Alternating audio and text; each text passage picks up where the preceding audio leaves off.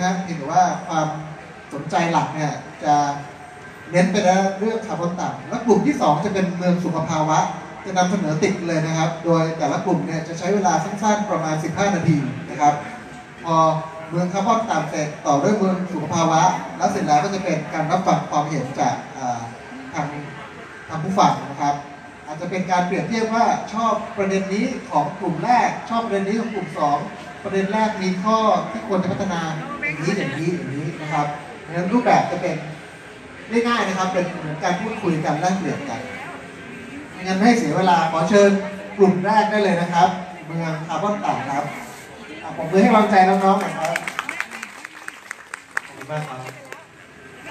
ครับผมกลุ่มของผมกลุ่มแรกนะครับจะพูดถึงเรื่องของคาร์บอนต่ำนะครับ โดยที่มุมมองหลักของเราก็จะมองไปที่เมืองเก่าเนี่ยแต่ว่ามันเป็นเมืองเก่าแห่งอนาคต ว่าเทคโนโลยีเริ่มจะเข้ามา มันก็จะมาช่วยเราให้ไปในสู่อนาคตได้ดีขึ้นครับโดยที่ทำไมต้องเป็น low low carbon city หรือคาร์บอนต่